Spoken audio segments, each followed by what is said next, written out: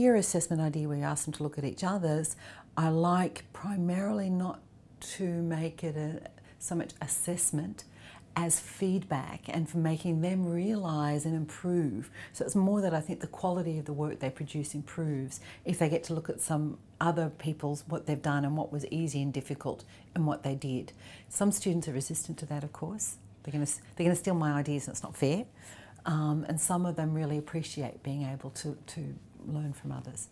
When we've done it for the assignment, we say the assignment is due in two weeks' time.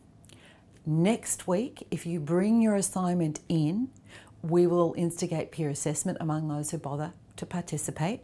We will give you a list of criteria against which to judge it, and we will have you assess each other's and then write out an assessment and return that document to the student. You cannot participate if you haven't already brought in an assignment because some of the students are like, well, someone will do no work, read mine and go home and use it. So, and I understand that, that notion. So, what we do, and the students who participate in that record that it's fantastic for two reasons. One, it actually gets them to actually get the assignment done early, and then they have a whole week to think about it and reflect and improve.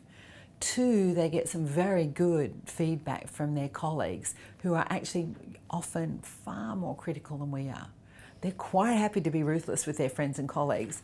This is crap, you know. I couldn't read this. This didn't make sense. You should. I'm thinking, oh, can be a bit bruising, but the quality. Now, the interesting thing about that is, I had a colleague who said to me, "Well, you know, what am I going to do if they all get 90%?" And I'm like, celebrate. Wouldn't it be fantastic if they had all learnt enough that you felt they all did a fantastic job on this assignment? that would be great. You know, this they've all learnt. Mm, so